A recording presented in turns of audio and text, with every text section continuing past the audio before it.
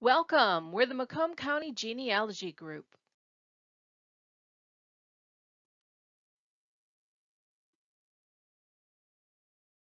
You can find MCGG at our blog website, on Facebook, Pinterest, Twitter, and at our YouTube channel. You can contact us at either of the listed emails on this slide.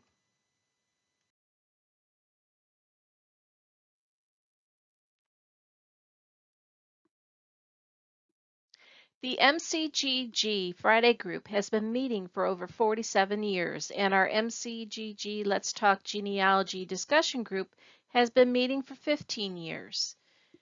During this pandemic and during the Mount Clemens Public Library's renovation, we are meeting virtually. MCGG members volunteer their time in a variety of ways to benefit the genealogy community and the Mount Clemens Public Library.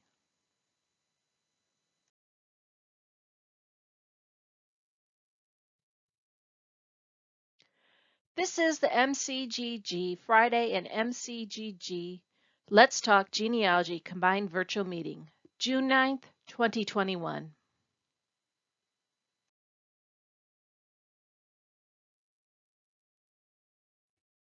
Our topic tonight, New AI Tools for Organizing Digital Photos, presented by MCGG's Robert McGarry in the Let's Talk Genealogy discussion format.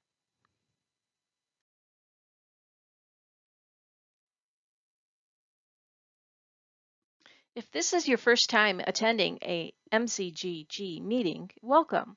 Attend a meeting and you are a member. MCGG has no dues. If you would like to be added to our mailing list, please send an email to the email shown on the screen. We try to keep our emails down to a reasonable number each month, mostly meeting reminders.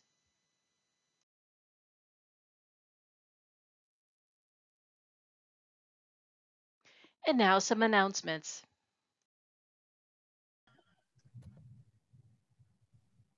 Far as announcements, I don't really have any. Just keep an eye on the south our on our website's um, Southeast Michigan genealogy calendar, so you can see what else is going on in the area. Um, this is our last official meeting for the season. And um, we'll pick up again in September. Um, please email me if you are interested in doing something over the summer, like a help session or anything like that. And we will think about uh, maybe having one or two of those, just so we can keep in touch and no one feels abandoned. because uh, it's it's going to be a little while for the libraries to open, I think. So with that, Welcome to the Macomb County Genealogy Group's uh, combined virtual meeting of our Friday group and our Wednesday night Let's Talk Genealogy discussion group. Tonight's speaker is our own Robert McGarry. He is presenting on new AI tools for organizing digital photos. So he wanted to present it in our Let's Talk Genealogy discussion format. So I believe it's going to be a little bit interactive. Um, so I hope you brought your ideas and your questions and a desire to learn. So if you haven't already muted your camera, please do so. Mute, mute your, shut off your camera and mute yourself. We'll get started. So Bob has, eh, by the way, is our vice chairperson and he has um, helped people out with questions during meetings um, and technical advice uh, and how to do things with their genealogy or their computer. Um, he's got some photography skills uh, among some woodworking skills that he uses for professions. So with that, Bob, We'll get muted here and the camera's off and you can share your screen. Okay. Okay.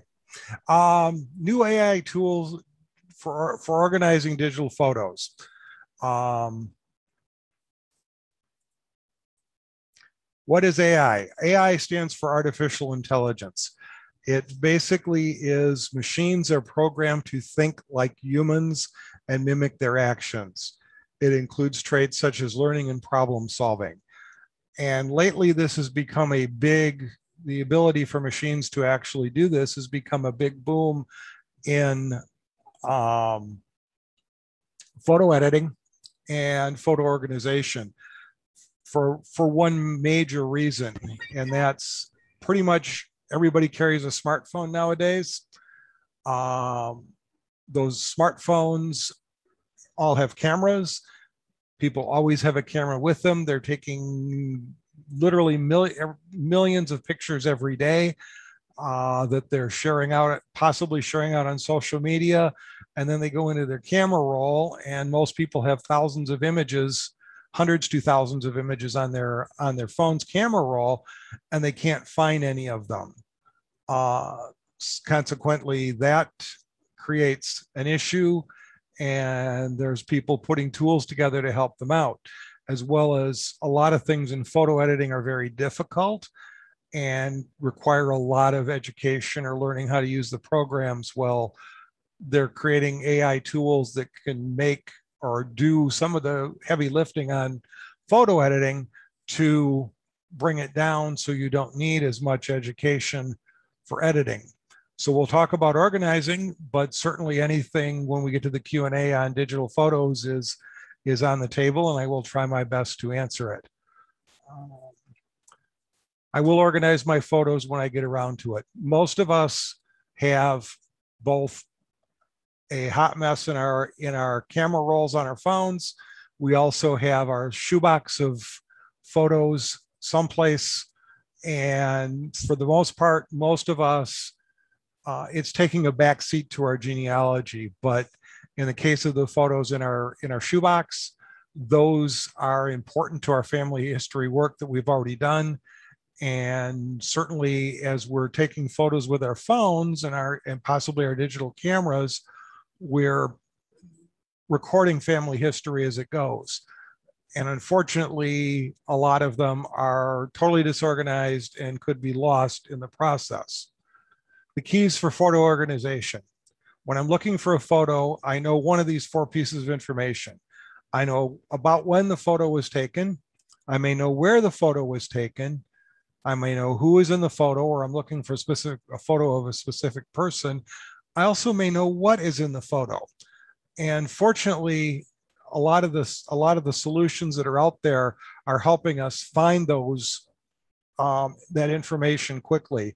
Certainly, where is helpful with with smartphone photos because most smartphones have GPS, and when you take a photo with your phone, it records where that photo was taken into the photo and can be searched for that way. When all digital photos are time stamped by the camera, and certainly that is changeable because back in the early days of digital photography, it was it was very common for people to forget to set the clock. Now the clocks are pretty pretty well stay up to date, and certainly with your phones, they uh, they stay exactly up to date, so we know when, who is in the photo, an AI technology called facial recognition can help us with that. And I'll show you how some of that works and what is in the photo. Now we have, when we're, when we're putting photos online at various sites, they're actually examining our photos, creating what's in the photo so we can actually do a text search for specific items. So that's it for the, the PowerPoint slides. I'm going to go to a couple of demonstrations. Um, I'm going to open up a photo library I put together for this demonstration purpose, which is a hot mess. Um, I have 651 photos. It's a combination of digital photos I took with a digital camera, with my phone, and, uh, and scans. Um, now, if you notice, everything is organized chronologically. So the most recent photos in here are Beverly Bishop presenting on um, World War One and beyond, which I took with my digital camera, and then we've got Bob, some of the Christmas parties. We're, Bob, we're just yes. seeing the the uh, PowerPoint. You need to swipe oh. forward to exit so we can okay. see what you're talking about. All right. Whoops. okay. um, I got too many windows open. and share that. Okay, there's my Lightroom window. There we go. Thank you. So thank you. um, and while I've got this open, I'm going to go ahead and close the PowerPoint since we're done with that. So I don't open that. Um, so should have the Lightroom window back up. Um, so if I want to search this particular collection, and like I said, this is a hot mess. There's no, there's no metadata recorded. Um, I've even got some critter photos in there that I forgot to take out. Uh, but it's uh, some of my some of my work photos um, and a bunch of scans. I can actually I can actually get a breakdown by dates. So 2019 was when Beverly presented, so that's where I have those photos. But where I've added dates, I can go back all the way to 1893, where I've recorded the date of my grandmother's picture, which is in this collection, and that was from a obviously from a scan from a um, from a cabinet card. So we can certainly in a digital so digital um, environment help to organize this way. And it tells me how many photos is in this collection by year. So that gives me an idea to search by date or time. But now if i go to people even though I've got nobody labeled, it's used facial recognition and scanned faces.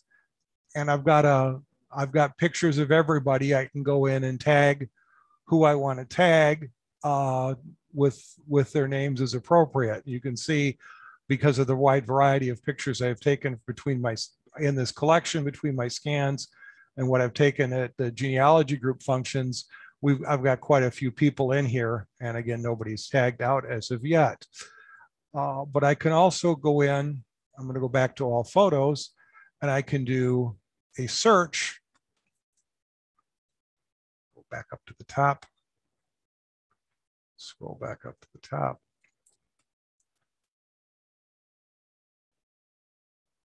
Takes a minute to go through 100, 651 photos, and I can do a search.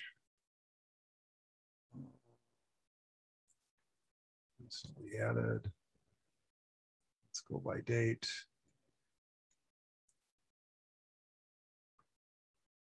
Where's my search box? Of course, when we're live, it's when we forget where we where things are. Oh, it's at the top center. Top center. Okay, it's my my thing is covering it.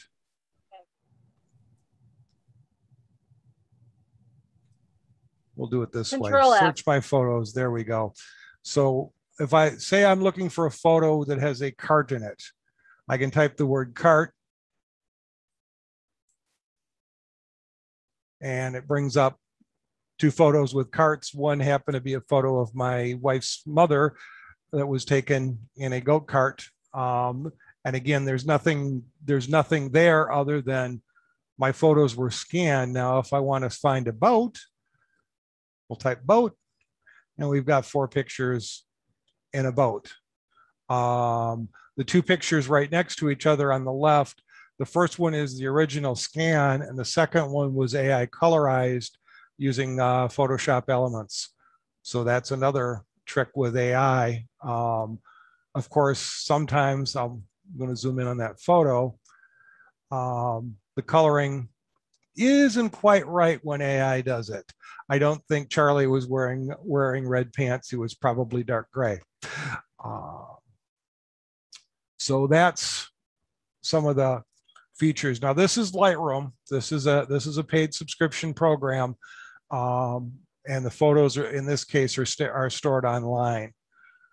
Um, I'm going to I'm going to minimize that. I'm going to stop my share and reshare a different screen for because if you don't want to go that route, um, those of you who have Windows have something called Microsoft Photo. It's part of Windows 10. It has been improved very greatly.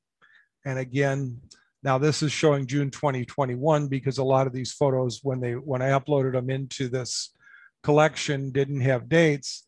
But the ones that did, like I can go back to the 1893 photo, and we have the same photo. It also gives us the ability to create, it, uses some AI to create albums. Since these photos were geocoded, it says it, it created an album called Friday Afternoon in Mount Clemens.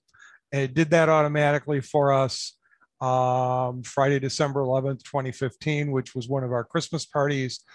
Uh, it did that automatically. And again, we do have the people view so we can start tagging. Unfortunately, Microsoft Photos does not do the um, do the text search where it goes in and looks at your um, at your library for things as of yet. But because um, Adobe Lightroom does it and Google Photos, which I'm going to show you next, does it, uh, it will um, it does work on that. So now I'm going to stop the share and we're going to go to Google Photos. Actually, I'm going to share, but I'm going to come up in Google Drive, but I'm going to switch over to Photos. And this is Google Photos. Uh, if you have an Android phone, Google Photos is built right into your phone and you can work with it that way. Um, again, we have the same, if I go to a search, it does it does a facial recognition and and my untagged people are going to show up as faces and I can search for boat and it's going to bring up the set. It's going to bring up, actually it did a better job and found more photos than, uh, than Lightroom. Um, and it also will, um, it doesn't do as, it doesn't do as much on dates as Lightroom and, and Microsoft, but it is a way to, uh, to store all your photos. Um, so that's basically organiza organizational tools that then you can use. Um, in all of these, we can actually begin to tag metadata.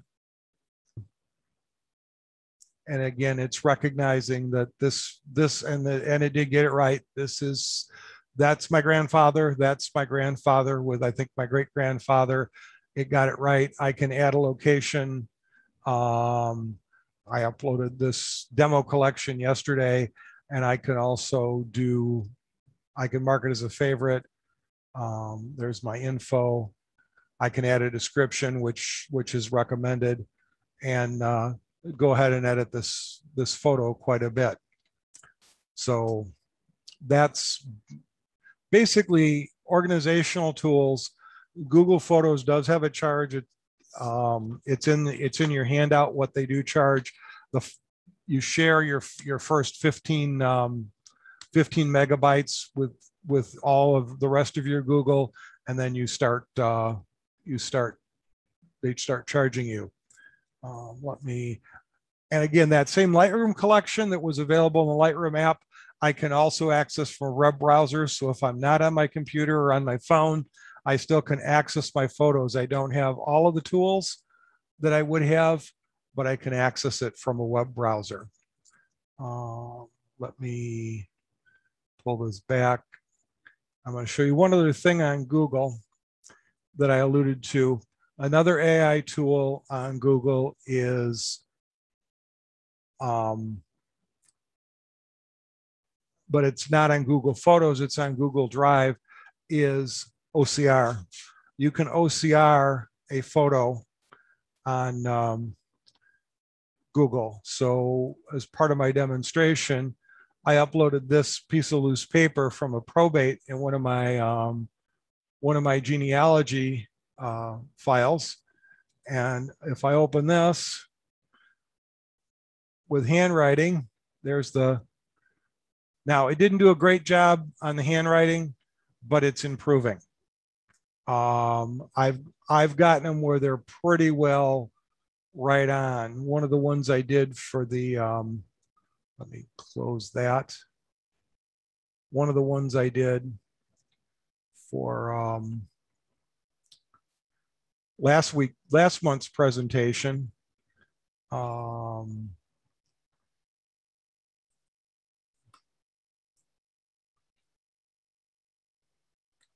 the George Priso bit, it pretty well got it right on. And with a few small changes, I was able to take that and post the entire um, information into my um, genealogy program as a as a transcription. Uh, it did a pretty good job of that. So that's bring that down again. Um, also, there's Amazon photos out there. Um, I did put the collection up on Amazon. If you have Amazon Prime, you have unlimited storage for photos for backup purposes. So you can store your originals to Amazon um, for free. But it doesn't, it other than chronologically, where it figure finds the dates, it doesn't really have the search features that some of the other um, ones have. But I did run the collection up at, up at Amazon to do part of the demo. So I'm going to stop sharing my screen on that. And I'm going to show you something else that just was released by Adobe today. And that is a, uh, an object called re, it basically resizes or doubles the size of your photo using AI. So in this case, this is a digital photo I took way back in 1122 of 21 with my first digital camera. You can see the file size is 2000 or the, the pixel size is 2048 by 1536. And let's say I want to make a big print out of this. Um, I can enhance this which gives me what we call super resolution. Super resolution is the new is the new tool, and it's in Lightroom. It's in the Lightroom on the um, on the web as well. It's just you need the original photo, which is on my hard drive. So I've got it in a in a different version of Lightroom. But it's going to tell me it's going to enhance this in nine seconds, and that's what that's super enhanced um, of the Mount Clemens Fire Department logo is going to look like when I'm done. I'm going to click enhance and it's creating the enhanced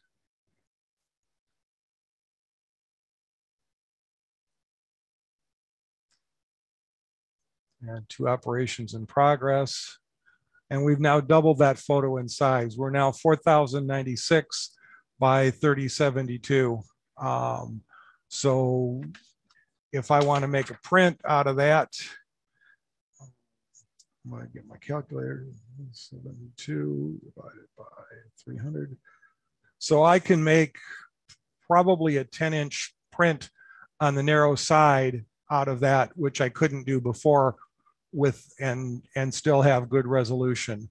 So it's there. If we zoom in to 100%, you can see how much detail it preserved which usually we don't get that kind of detail preserved when we do a when we do an upsize like that. So for older digital photos or maybe older smartphone photos, um, we can now increase in, enhance um, where we're at. Plus, it creates a digital negative, so we can edit it a little bit easier in uh, in a parametric editor.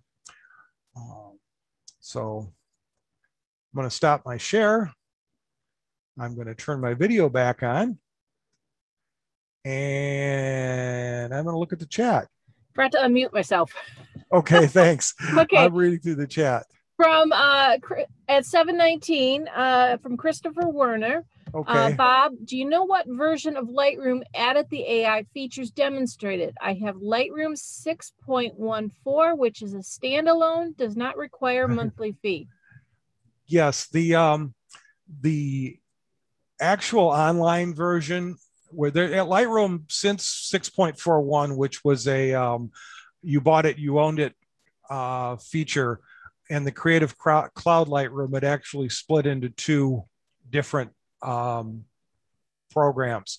There's Lightroom uh, Classic, which is what I did the enhance in, um, which is I believe 10 something. I just got the new update this today that was released yesterday, and it's 10.2 or 10.4 something. Um, and then the online version is Light Point 4, I think it's 4.14 or 4.13, something like that. But in order in order to I mean, you can you can download the phone version, use it for free, but you don't have the um, the ability to save files to the cloud. If you have the Creative Cloud subscription, the 9.99 a month, you can save files to the cloud. Um, you've got, I believe it's 20 gigabytes of cloud space. Now, if you're using, and it gives you both Lightroom Classic and the the the the Lightroom Cloud ecosystem. If you're using Lightroom Classic, what you can do is you can still store your photos on your hard drives, which is what I have, and create smart previews, which upload to the cloud. And those smart previews don't count against your um, your your 20 gigabytes. They also have another plan, which is 14.95 a month, which is basically the standalone Lightroom plan with the cloud version, and you get um, you get a terabyte of cloud storage. I don't okay, use. Uh, I'm just gonna. I don't care about the cloud. I'm only concerned about stuff I pay for once. So I think what you're telling me is that my six version 6.0 version can be upgraded to version 10. Does that version 10, which you're calling classic, have the AI features that you demonstrated today? It has some of the AI features. Um, it it does have that, but it's not a it's not sold as a standalone program. It's sold as a 9.99 a month subscription. So I'm 120 a year whether I like it or not. Okay, thanks. Yeah. yeah, that's that's the unfortunate thing. 614 um, is still serviceable for a lot of people, but for that 9.99 a month, you also get the full version of Photoshop CC. So some of the colorization features and whatnot, and uh, sky replacement, a whole bunch of photo editing stuff, is now in uh, Photoshop CC. Thank you. Um, 20, uh, Gene Peterson asked, um, when he has a minute, can he show us which of the three programs allows for efficient captioning of photos right on the pic? The MS one is clumsy. How good is Google and Lightroom? I would use this to caption a series of photos from a vacation. Okay, captioning captioning's kind of funky because I know a lot of people like to do um, um, captioning right on the picture and print it out. Unfortunately, that's not a big feature for a lot of programs. Um, and light, in fact, a lot of people bash on Lightroom because Lightroom doesn't. It's it's very hard to create a, a, a caption print in the print module in Lightroom.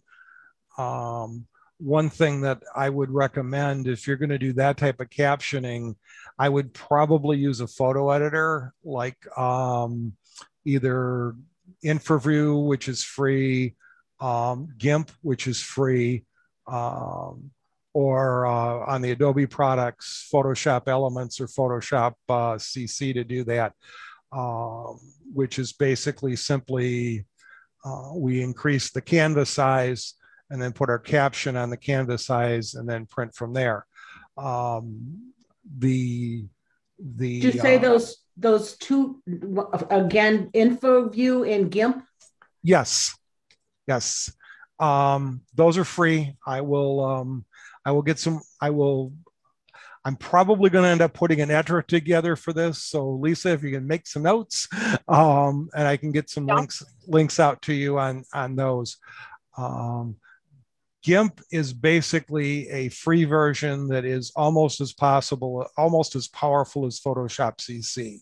The downside is because it is a huge program and has a lot to learn, um, a lot of people are intimidated by it. But it runs on most um, on most systems. It doesn't require the the the level of computer overhead that say running Photoshop CC does. Um, InfraView is a photo editor. I don't particularly care for it, but a lot of people do like it because it's free. And then certainly the Adobe products of, of Photoshop Elements and Photoshop uh, CC Elements.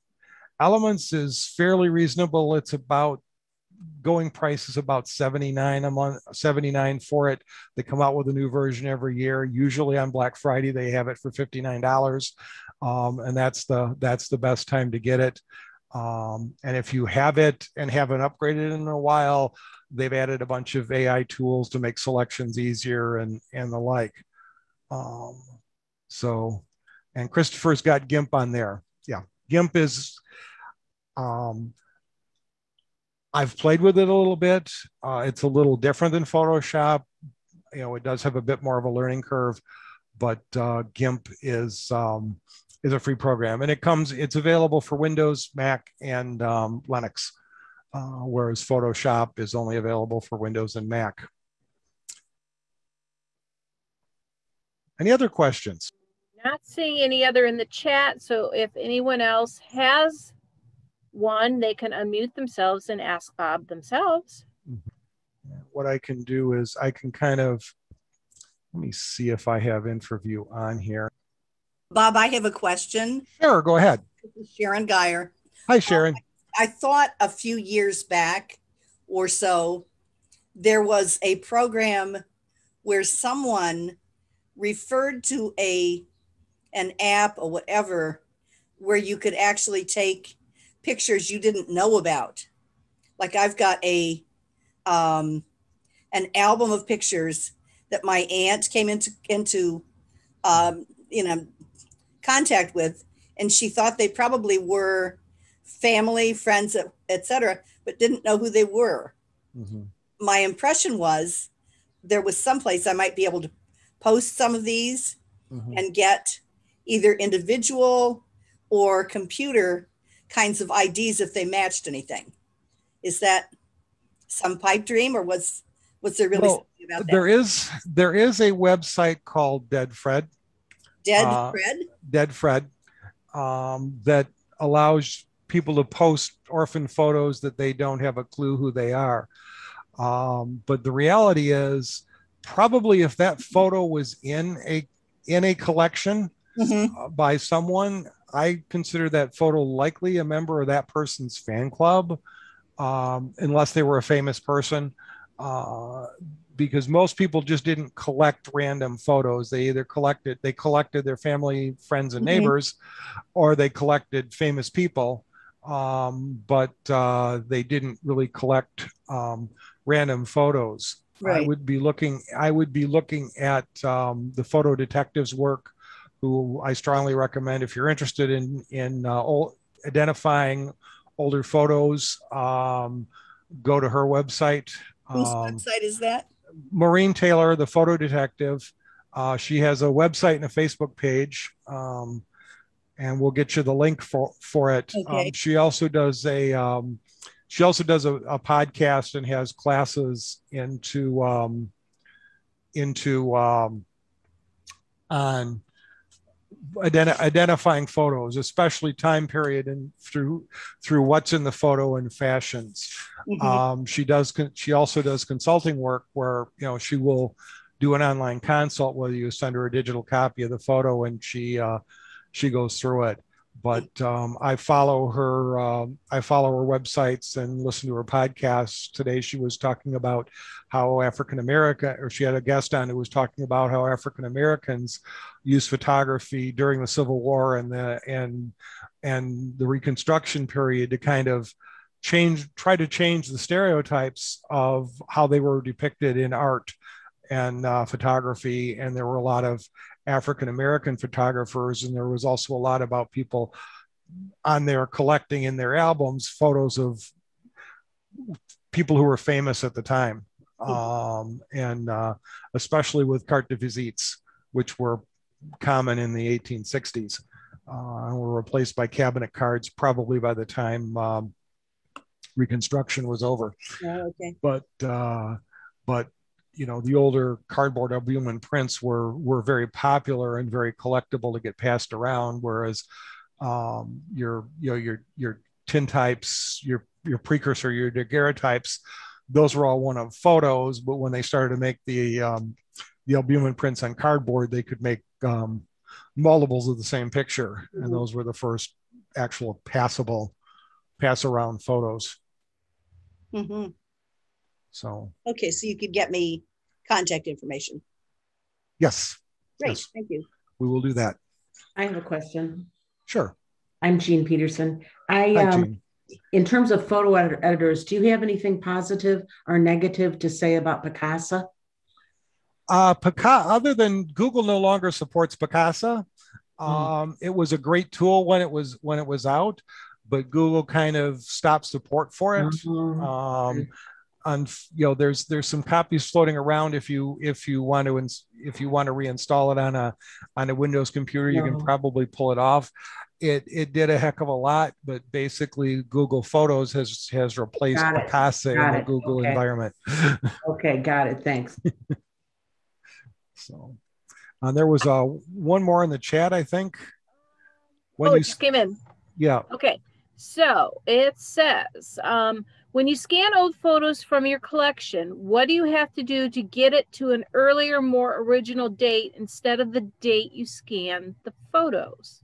Okay, well, let me uh, show you how to do that. I will, I will share my screen again. And I'm going to go to the, um, I've been trying to put links in the chat for everyone um, for things that are mentioned. And I, besides Dead Fred, I did add the link to get to Photoshop Elements on Adobe because if you go to the mm-hmm. products, it's kind of hidden.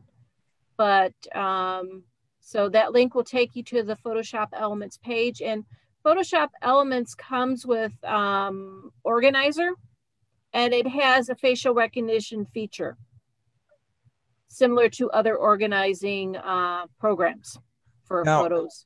I'm going to show you in Lightroom, but it pretty much photos um, are different. This one we we did the scan on March 17th of 2005.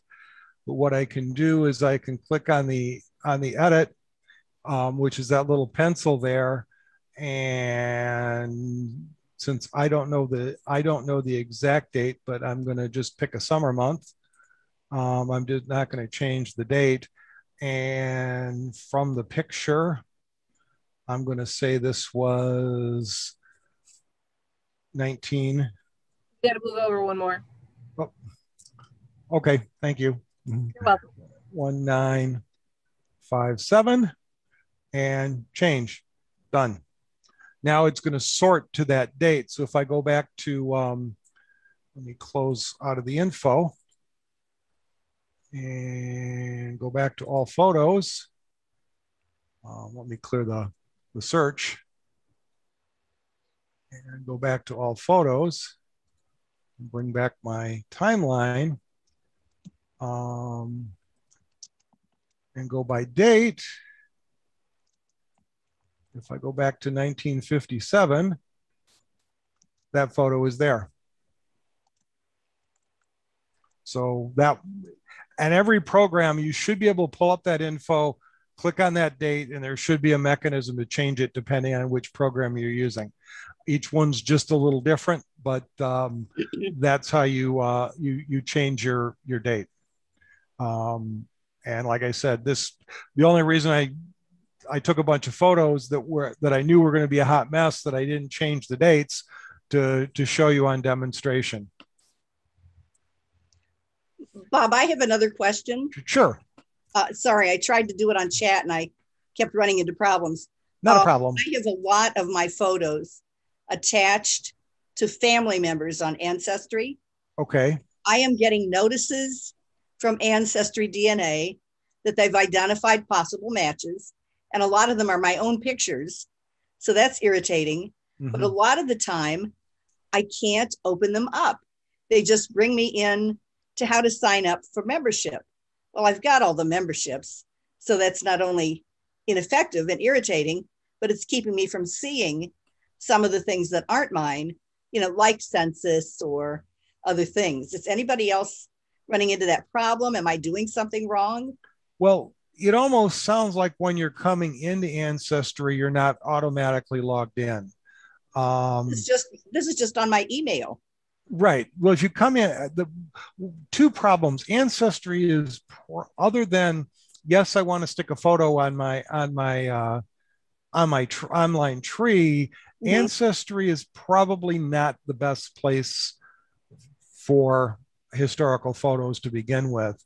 And secondly, um, you know, I kind of take most of Ancestry's emails with a grain of salt.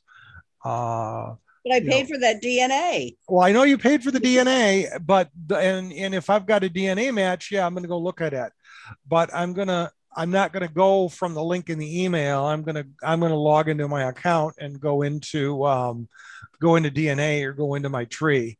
But keep in mind your photos are attached to your to your online tree, so it's Mhm. got to work off of your um, off of your account. So if I get if I get an email that says you've got a I've got a DNA match, I go into I go directly into Ancestry DNA. I've created a link for it in my web browser, and I don't even go from the link in the email. I just I just go right to it, and my mine is set up so I stay logged in all the time, so I can very quickly get to where I need to want to get. And then I can look not only at the match they're telling me, hey, you got this new match, but I can look for any new matches in my DNA. hmm Okay. Um, so I have a, may I, ex- may I piggyback on Sharon's question? sure. Would you expand a little bit on your reasoning that uh, Ancestry isn't the best place for your historical photos? And does that also go for Family Tree Maker? Well, again, with Family Tree Maker, you can you can you can create your library of photos. When you're when you're uploading and downloading tree information in Family Tree Maker, of course, I don't use that as my genealogy program. I use RootsMagic, but um, you can decide whether you want that photo to upload or not. Um, the problem I have with Ancestry is there's very little control about you know they, they like to pass the photos around a little bit and they don't include the stuff you can basically there's part of a digital photo called metadata. And um, metadata is information about the photo. You know who took the picture who's in the picture the caption um, any keywords you might have uh, the dates which when we changed the date we were changing the date in metadata. Um, ancestry really ignores it and kind of takes it out uh, which is a problem uh, there is a there is a group working on gene you know standards for genealogical metadata. Um, and hopefully ancestry because they've published the, the first set of standards.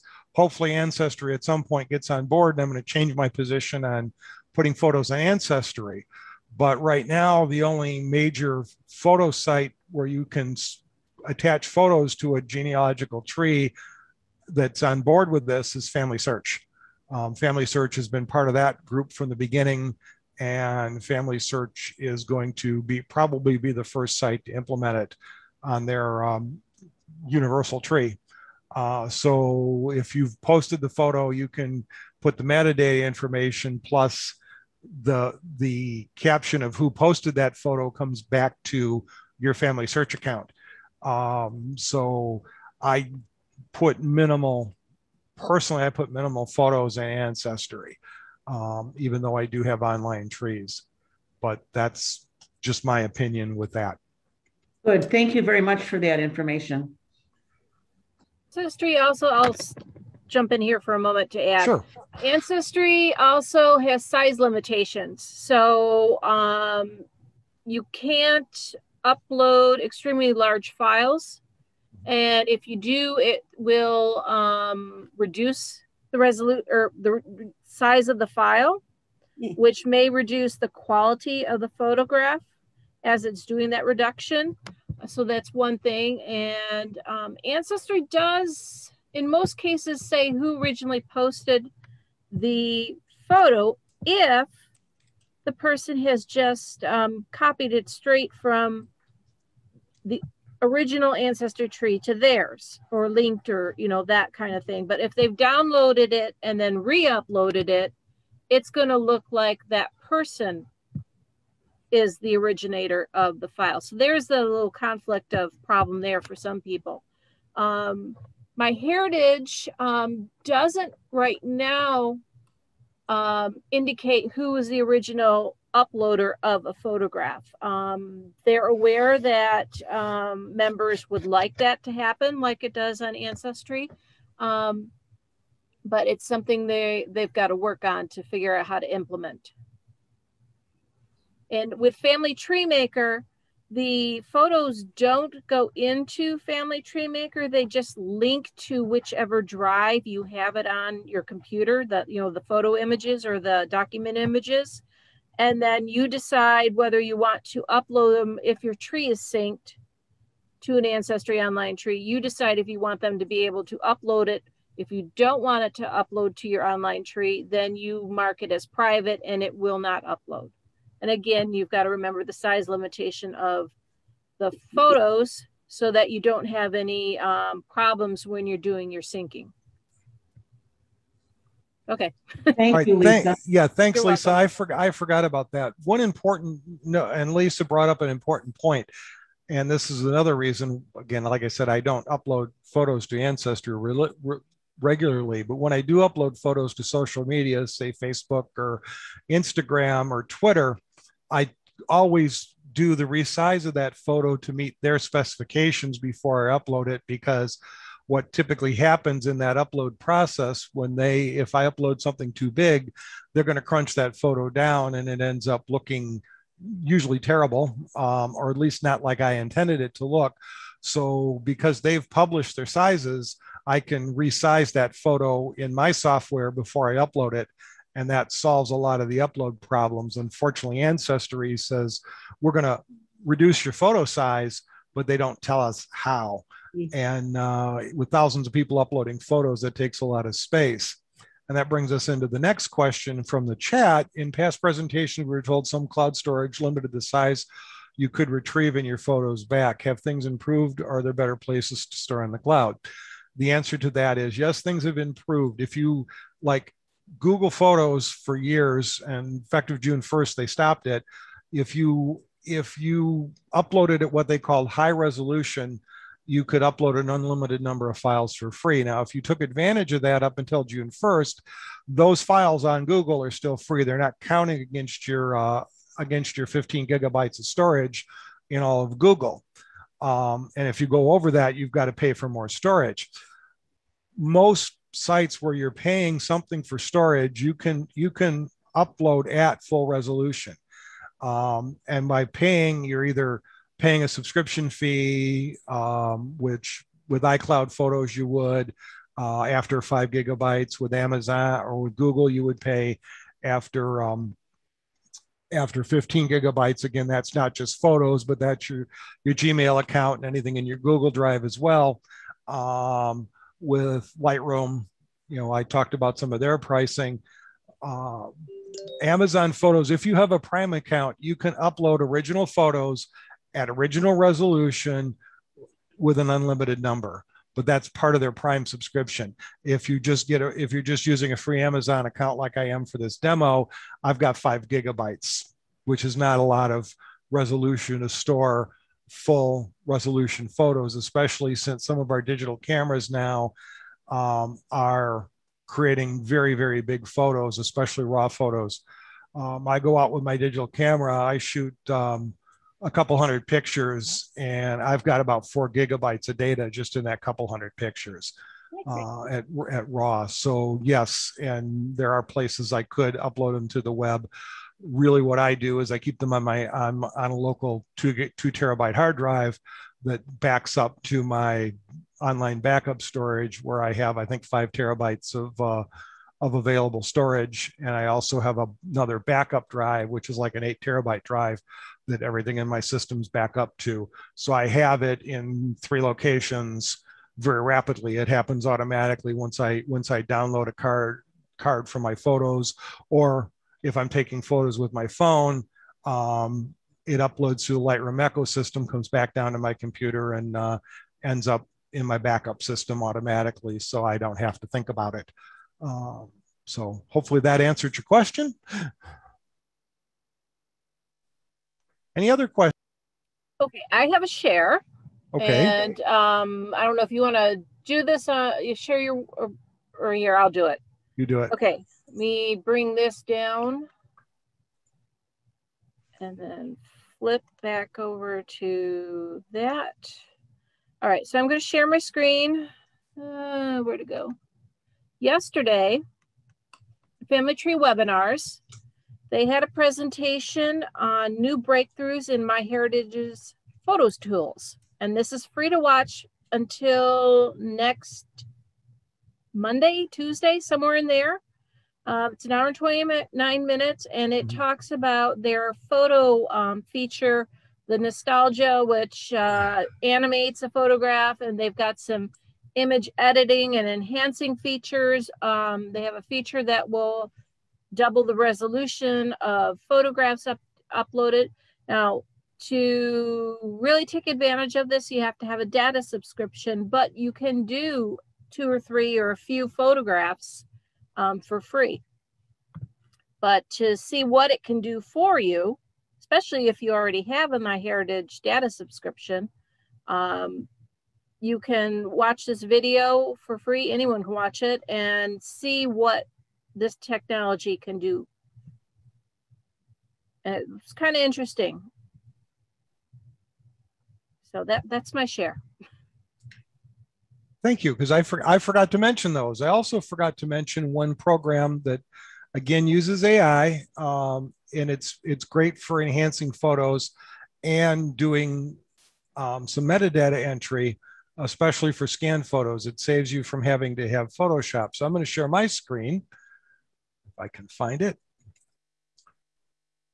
And it's called Restore by Vivid-Pix.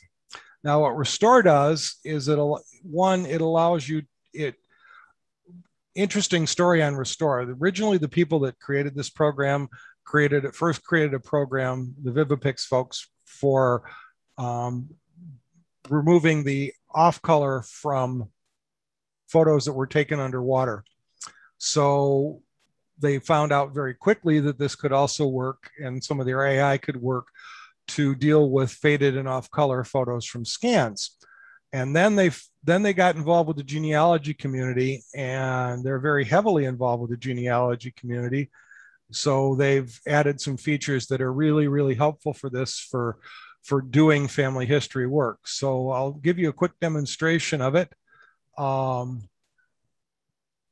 we'll start with a faded a badly off color slide. I'm going to open this up and it's going to do its magic.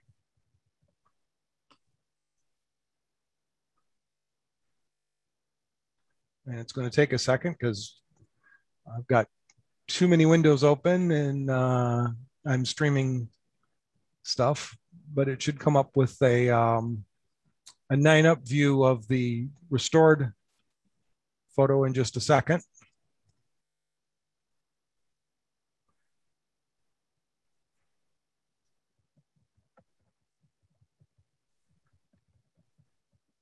Anytime now. Mm-hmm.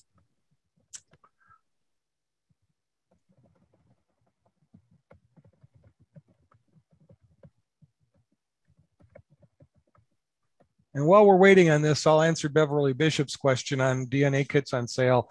I just got an email from Ancestry today. They're they're they're doing uh, fifty nine dollars uh, for Father's Day. Okay, there we go. I was typing. yeah, um, just about all of the um, DNA uh, company testing companies will have sales for Father's Day. Um, just kind of go go to the site um, and see if it appears already. Um, I, while Bob shows this, I'll poke around and um, see which ones already have their sales going. Okay, so from the badly faded or from the faded printer slide, which this is a faded, this is a scan of a slide. Um, it was faded. I'm probably going to pick the one in the middle. Um, but let's try badly, which that's still showing off color. So we're just going to do the faded printer slide. Um, so that's the original. That's how bad off, badly off color it was. That's the processed, and that's the two side by side. Now I can go in here and I can uh, do a detailed edit so I can change the color balance a little bit if I want to. I can uh, bring up the vividness. I can add a little bit of sharpening, which I like to do. I'll pull the colors up a little bit because those skin tones look just a touch washed out and that warms things up a bit. Um, and now I can um, I can save this since I started with a TIFF file. It'll give me a TIFF, a full resolution JPEG, and a and a uh, email size JPEG. Um, and I can go into um, save that. So for the next one, it's to it's to take a second to save that out. And then I'm going to bring up one which is a um, a handwritten digital image of a um, probate scan that was very very poor, and we'll show you how you can in, enhance a record and then actually go over to a screen and um, and literally type it yourself if um, if you can't make it readable um, for OCR. So um, while this is while we're waiting on this,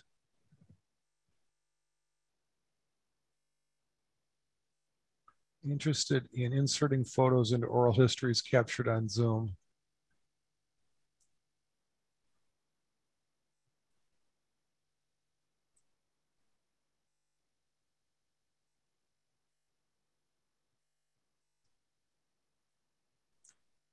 And Beverly, I saw your question on if you're going to put it in the transcription, I'll show you how to do that in Microsoft Word in a minute. Um, For the question about DNA, while we're still cooking here, okay. uh, my heritage DNA is uh, their autosomal test is uh, currently on sale for $59. It's regularly $79. And of course, um, you know, there's shipping involved involved there unless you buy two or more kits. It says free shipping. And the sale ends in 11 days. Um, 23andMe, which is by $50 off when you buy one Health Plus Ancestry kit. Um, and so that would be $149 instead of $199. Now they do still have just the plain ancestry and traits service, which is regularly 99 on sale for 79, but they've limited your matches to the first, I think 1500. Um, so it works, but you got to realize they've also started limiting some of what you're getting. Um, and if you buy a second kit at the same time for the Health Plus Ancestry. Instead of that second kit being 199 it's only $99. Um, or there is, you get the window out, pop-up window out of the way. If you're just buying a 23andMe um, Health Plus Ancestry service one kit, um, you, and you buy the membership, then you get access for $29 a year you get access to all of your matches and some additional tools. So um, check the, just go to 23andme.com and you can check out on their main homepage what that is. Um, Ancestry DNA for their autosomal, which is the origins and ethnicity and DNA matches. It's on sale for $59 instead of $99. Um, there's a couple other variations. The DNA kit um, origins, ethnicity, DNA matches, um, and a three month World Explorer membership for $60, which would have been regularly $178. Or there's the or DNA kit, the origins, ethnicity, DNA matches, and then the extra personal traits, which is kind of nice to know, but not need to know. Um, for $69, which would have been regularly 119. These are all going to be on their home pages. Um, Family Tree DNA has not started their Father's Day sale yet. So just go to their site and check to see when their sale starts. Um, Living DNA doesn't look like um, they have a sale. Oh, wait, nope. They said Father's Day sale up to 20% off and free shipping on three kids. Now, Living DNA is a smaller company. It's based in the UK, so you have a lot of English ancestry. They are trying to get down to by a, a county um, look at um, where your ancestry comes from. So that's something to keep in mind. They also take uploads. Um, I believe it looks like it's on sale for there's different levels of kits, and some of it is more health, um, you know, vitamin things like that. Um, so the basic one is 99. This is for the ancestry, the equivalent of the normal test. Uh, it's really 99. It's on sale for 79 plus shipping. So just go check out sites and I'll try to pull together a post for our blog. Go ahead, Bob. Okay, so I've got the next one up and I'm selecting faded document or text because that's what this is. It's a scan of a very faded document. Uh, I think the first one up in the upper left is the best. So we're going to select that and we can see how much, um, let me um, go to the original and it's, um, fortunately it doesn't let me zoom in on it. So you really can't tell. But if we go to the processed one, we can see some writing. And when we go to both, now I'm going to zoom in. Um, and this is the tra Zoom transcribe. So I can actually go zoom in to 100%. And now I can actually come in here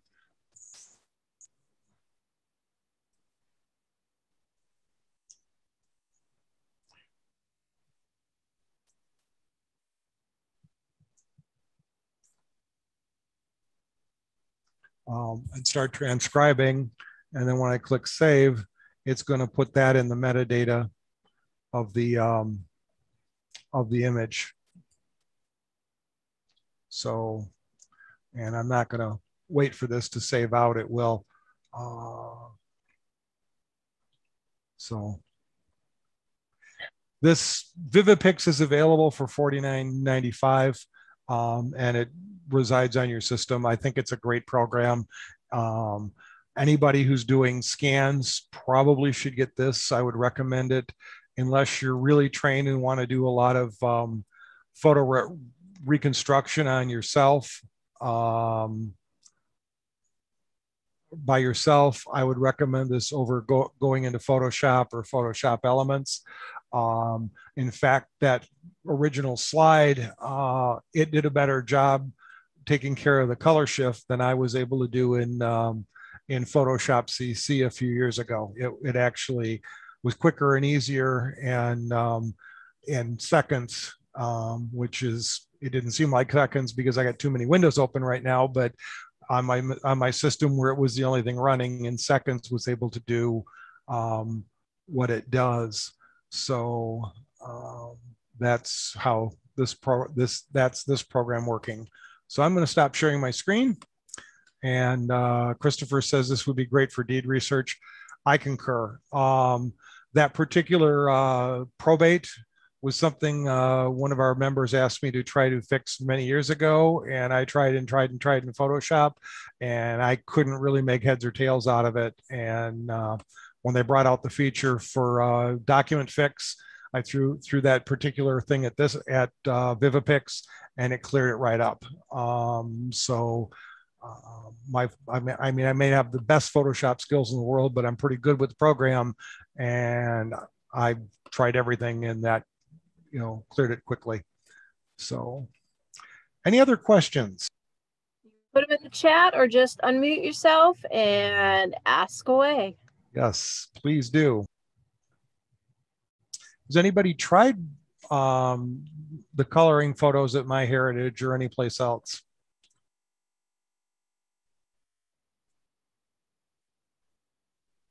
Haven't yet. I'm getting tempted. no, I, I, but I, I see it done all the time on Facebook, all the genealogy pages.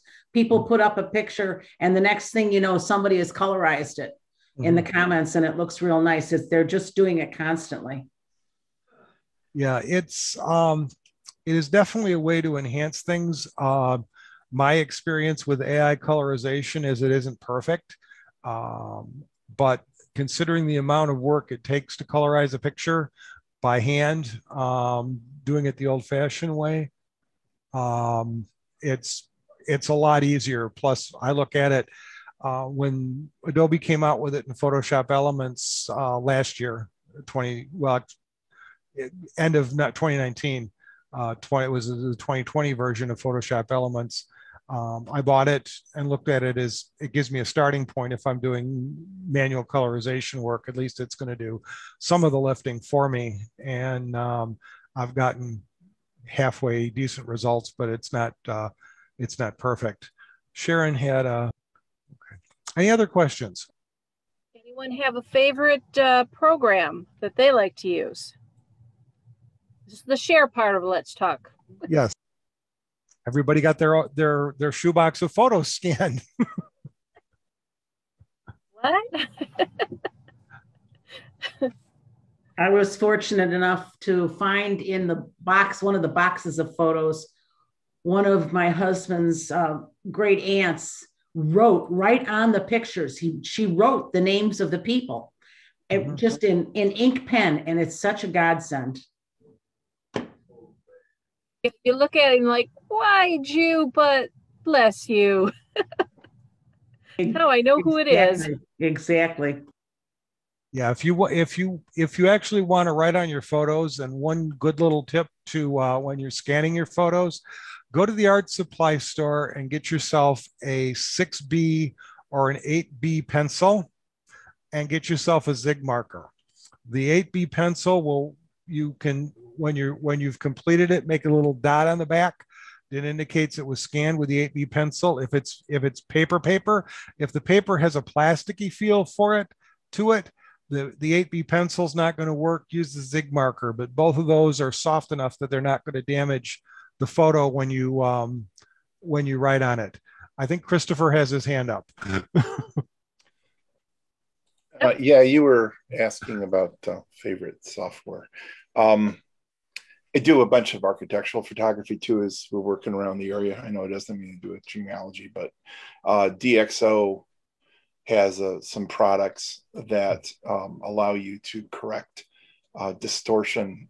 Um, the, the, typical thing you get with a camera if you're taking a picture of a very tall building where your uh, parallax tends to make things turn small at the top a little instead of the fancy cameras we used to have with the uh, um, ability to have the outer lens different than where your camera is, this will correct the uh, distortion in the camera. So if you've got pictures of folks that you're restoring and you also want to make sure that they're horizontal level square mm-hmm. and the, the, the, the actual houses that they're standing in front of are the way they really were it's a it's a handy tool and that it also goes on sale once a year around black friday and also the the photoshop elements that you mentioned earlier uh, also is available bundled with the Adobe Premiere Elements product, which will allow you to edit videos rather nicely uh, without paying the big bucks of the uh, the monthly subscription.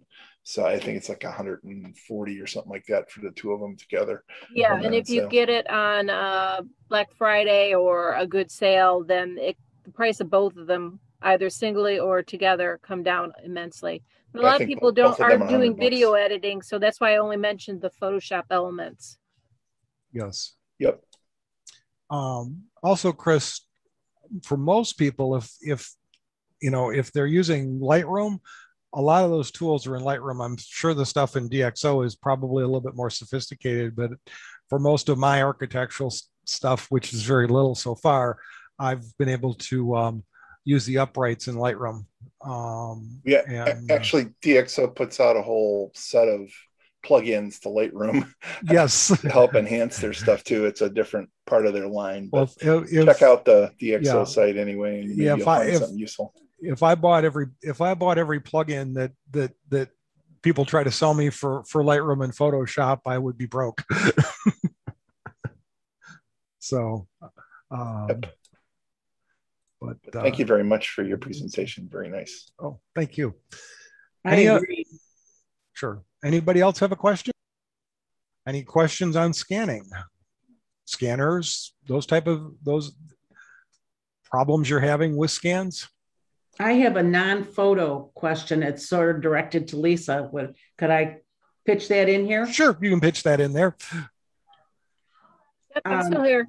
Yesterday, I got a hint of a of an ancestor, and they gave me the wrong second great grandmother, and I, it, it was from Family Search. The, I'll, I'll, I'll make my question quick. I know it's the wrong one because I have the original obituaries, the copies of original obituaries for both the woman and her parents.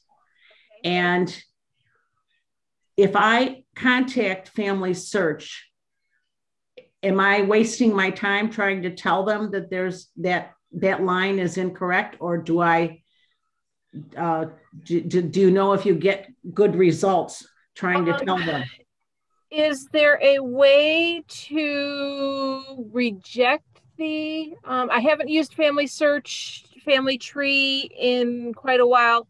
Um, is there a way to reject and say this is not this? Well, I could do that right on the face of it. I bet I could. Okay. I bet I could do it yes. right on the face of it. That would be all it was was thing. a hint. Yeah, that's right. Yeah, because if it's a hint, you may be able to just say no, that's not right.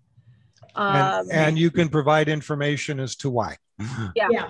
Yeah. Okay. I think that's that's right. That's right. Yeah. It, it could be just something left over from long ago, before you know where uh, all the people they added were frozen and when they were cha- trying to take care of the uh, unreasonably large uh, uh, people.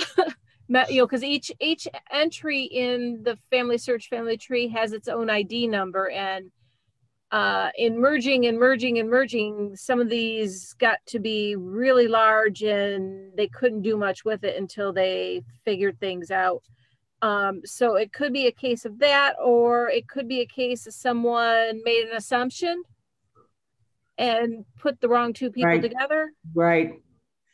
Right. So, yeah. Okay. I'll I go from that. I'll go. I'll try for that. That's the most straightforward answer. I'm sorry. I'm sort of surprised I didn't think of that. Okay. You, you know they they change things so much here and yeah, there that's, that that's true you you don't remember that oh wait they've added this and it's kind of like the mm-hmm. reject a hint over at ancestry so that you stop getting the same hint over and over and over mm-hmm. again. Mm-hmm. okay. Yeah. It was sad because it went back to my revolutionary war patriot. Oh boy. Oh it's not he's not mine. Yeah I'm still searching for one. okay, uh, there's there's a message from Joanne in the chat of what scanners okay. do people like, and I will definitely tackle that one. I've tackled a little bit in the handout. If you're scanning photos, unfortunately, the heyday of scanners was about 2010, and a lot of photo scanner or a lot of manufacturers like HP they used to make really, really good photo scanners who've kind of left the photo scanning market. They're still making scanners, but those scanners are, are aimed at scanning documents rather than photos. Uh, you can certainly use a document scanner to scan photos. However, you're going to get better results with a photo scanner. The reality is right now um, for photo scanners, about all that's out there is the Epson uh, V600 and V850. Um, the V600 is a newer newer edition of the scanner I use, which is the V550. Um, but um, the V600 is the current one. The V850 is a professional level scanner. Um, it scans a little bit faster. It'll scan bigger um, negatives uh, and um, and scans a little bit better color grade, but it's also about $1,300. Um, the V600 will scan uh, photos, it will scan negatives, and it will scan slides, uh, both 35 millimeter and uh, 70 millimeter, uh, which is your two and a quarter um, slides. Uh, that scan, that off color scan I, I showed you was actually scanned on my V550. The advantage, one, one thing I'm going to tell people if they're going to, and another scanner that Epson makes, which I did mention in the handouts, is the FastFoto 680. The FastFoto 680 is a sheet fed scanner. It's designed for scanning photo paper, which most sheet fed document scanners will jam on photo paper. Um, this one will scan photo paper. It's designed to scan a bunch of photos quickly, but you want to make sure you're using modern photos. So basically anything from the um, 70s or so forward would, would scan nicely in a 680, especially if you've got a bunch of them because it, it scans in sheets. Um, if you have an older scanner that is USB, it probably is supported by a program called VueScan. So even if you're upgraded to Windows 10 or one of the new Mac uh, operating systems, your scanner is still probably usable to do what it did as a photo scanner. I have a um, 20 plus year old HP for scanning 4x5s um, that works just fine on VueScan. It's a USB scanner, so it works, although my primary scanner is, uh, is my Epson V550 and it the VueScan makes my V550 um, work really well. Um, so that's kind of my take on scanners. Um, the other option, obviously, is camera scanning, and I'm probably going to do a video on that at some point uh, in the not too distant future. I I would uh, concur that I've used the V600 for several years, and it does a fine job in low volumes. Um, the problem with any flatbed scanner is how long can your back handle constantly flipping the door open and closed and feeding each page one at a time. And that's where you end up going to a copy stand and a camera and you just flip them in and flip them out and keep pushing the, the remote shutter button and you see everything big on a screen next to you and it goes a lot faster with a high volume. So yeah, in a small volume, if you're just talking about your family pictures, you're probably okay with a flatbed scanner. I've got a flatbed. It's a Canon, uh, Canoscan. Uh, it's a 9000. Um, I like it. It's not as wonderful as my prior scanner, but that was before USB, and I really love that one. Obviously, it was old. now, for those of you who are local here in the Macomb County area or even nearby counties, once the library reopens, um, they have, of course, remember the book scan station, which has attached to it a flatbed scanner that is 11 by 17 inches um, big on the platen. So you can do large documents, you can do small, small documents, you can batch scan, and it scans at 300, 600, no, 200, 300, and 600 uh, PPI. So you bring in your USB drive and save it to the USB drive as a JPEG for, and then when you get home, change it to a TIFF. Um, if you're going to do TIFFs, you got to do them each individually, cancel out of the program and start over. Otherwise, they all end up in the same TIFF file. I don't know how to get them out. so yeah. you, you see multiple in one. It also does um, searchable PDF files. So if you have documents, you can scan them on the flatbed, or there's also a document feeder. You can put about 10 pages at a time in it and scan your documents, single page, single page or double double-sided page. Um, so once they get that reconnected, um, once they are open and we can go in for longer than 15 minutes, um, then um, we'll have access to that again and it's a great feature. We used it for our very first church book scanning project. So there are options and it's free. Yes. Okay, Th thank you all.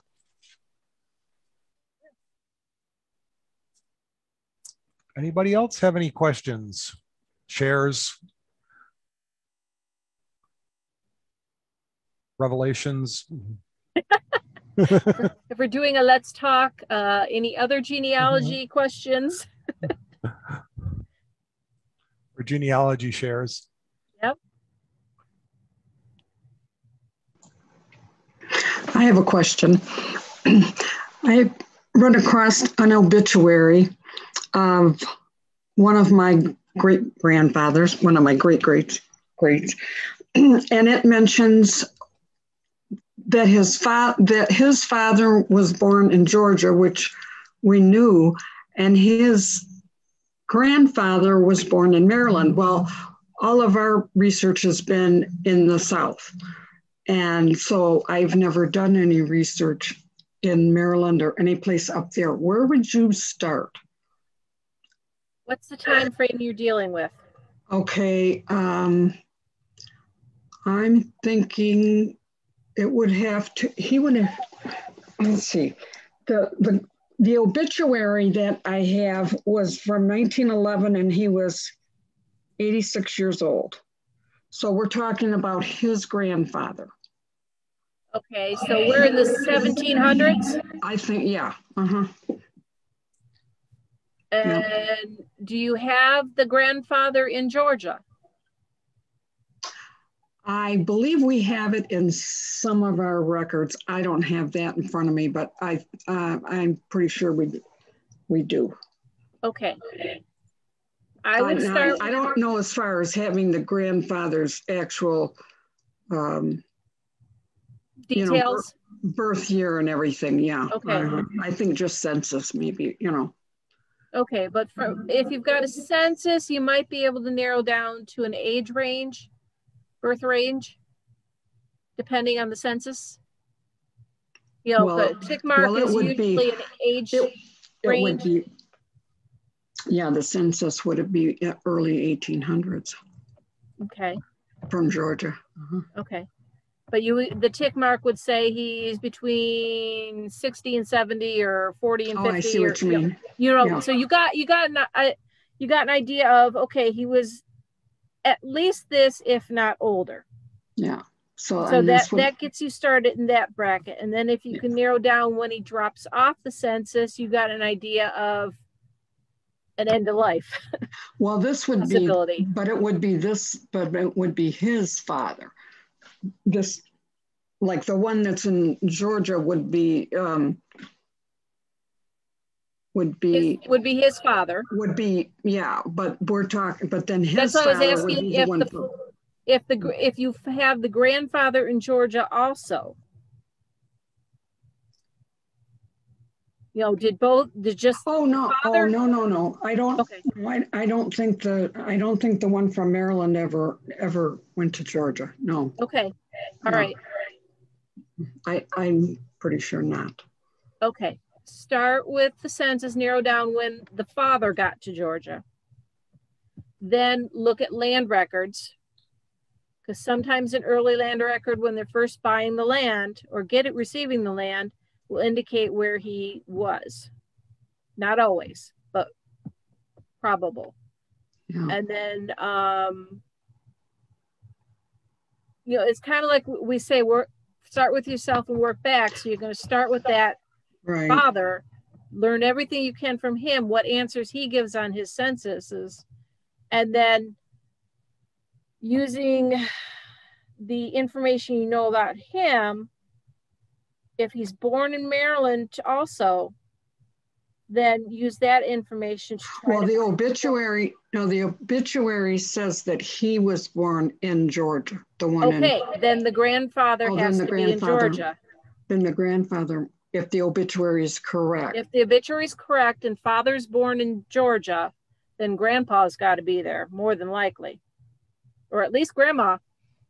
So then, yeah, So you need to try to figure out who, you know, where grandpa is in Georgia and scour the Georgia Yeah. for details on the him in order to get Georgia- clues of where he came from in Maryland, the if that's where he Georgia came from. The Georgia records are such, are they're so difficult. But, um, yeah, I see what you're talking about, yeah. Do your due diligence on each generation back. Yeah, when I had looked before, we couldn't find, I think the, the last name um, is, was, was part of the problem. I think it changed. That, yeah, you got to be open-minded about spelling. Yeah. Because we're looking for Marchman and I don't think we could find it when it went back to, back further. And it, the only thing we could find was March meant, but that's a possibility. Oh, yeah. And if you were looking before German. all the digitized records, you really need to repeat and look at what you've done and see if there's more you can access now than you could before all Well, the this is true because it's been quite, digitization. it's been a while since we looked for that one. And of course, all my records on that family are are down in my basement right now. And I had a flood in the basement a couple months ago, and I can't get to any of that stuff because Oh, it's not fixed. Well, I everything was okay. I had it in in uh, you know, plastic boxes and everything. Good but job. Good it's job. just, yeah, it's just that uh, everything is, I just can't get to it the way it's, it hasn't Yeah. been fixed. And uh, yeah, so, but I But you can went- poke around and try to see what you can see digi- digitally. And then That's when you can get to those documents, confirm, Yeah. did I find the digital version? Did I find something new? Uh, Yeah, sometimes it's better to have a fresh set of eyes. look at Exactly. It's kind of over a like uh, anyway. Thomas MacEntee's genealogy do-over. Yeah, right, Just, exactly. just start that line again with a fresh eye. Yeah, yeah. In And you I know, think, a lot of times it goes faster now than it did before all this digital stuff. yeah, And it doesn't feel like it's harder work. yeah. Yeah, I remember when we first got the computers way back when, and and we were so excited when we when we had the World Wide Web, and we thought, boy, we're gonna have do our genealogy and not have any paper anymore. I, I don't know anybody that's gotten rid of the paper. I miss Gopher. Kind of like my paper as backup Oh yeah, because hard drive don't don't eat your paper. that's right. That's right. Uh, okay. Carolyn. Okay, yeah, sorry, Sandra. Um, No, I see okay. something in the chat. Uh, Carolyn, uh, yes, we are recording and we do have recordings of the prior meetings. I'm just very, very slow at editing them and getting them up. It was my goal to get at least one this weekend, but I had family in town and that was an impossible goal. So I'm now that everything's done, I should be able to concentrate and um, edit these videos and get them up there. And I will announce it on the blog. And when I got more of them ready, I'll send a reminder email. I don't think you guys should mind too much um, that, you know, they're up there now. I apologize for being slow. Um, let's see. Um, The, the videos will post to our YouTube channel. yes. Um, Lisa, I don't know if you have the link handy, but you might want to put that in the chat. Uh, Yep, just a second. Let me bring it up. Okay, there we go. It is in our chat. Yes. And if you subscribe and uh, ring the bell when you get there, you'll get notified by YouTube when we post a new video. Exactly. Um, or Lisa, Lisa's doing most of the work, and hopefully, I'm I can free up some time and kind of help her out. And I'm working on a couple that will uh, that may post there just uh, in general. Yep. Okay, any other questions? Shares, Thoughts? thoughts? Again, send me an email at the Macomb Co GG. Let me put that in there. And if anybody has any questions for me, put them in the send it to the same email, and Lisa will get them to me.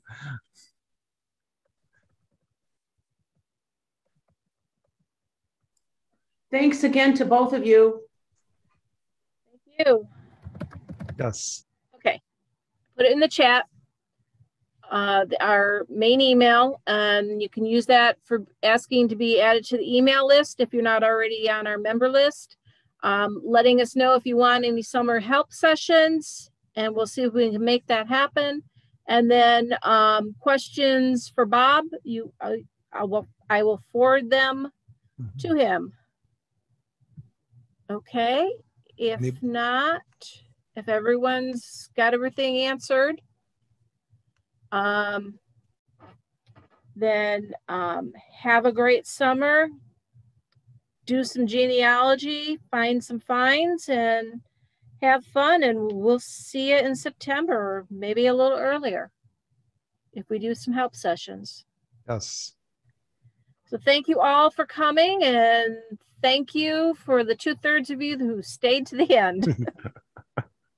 I know there was a couple other presentations tonight, so uh, uh, some of the others uh, left to uh, join in the fun elsewhere. Yes. Well, it's been a busy week, both in genealogy and uh, photography. So um, Apple's had announcements. Adobe dropped some, a couple of things and um, some new camera announcements came out. So it's been kind of an interesting week so far. And it's only Wednesday. Okay, everyone. Thank you for coming. Yes. To quote the Lettermen, I'll see you in September. Okay. Thanks. Thanks. It was a great uh, presentation. You're welcome. Glad you enjoyed it, Sandra.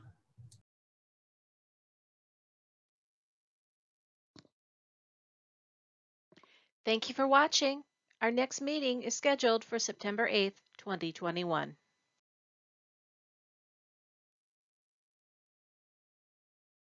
Last but not least, MCGG extends its thanks to the Mount Clemens Public Library and its staff for hosting this Zoom meeting.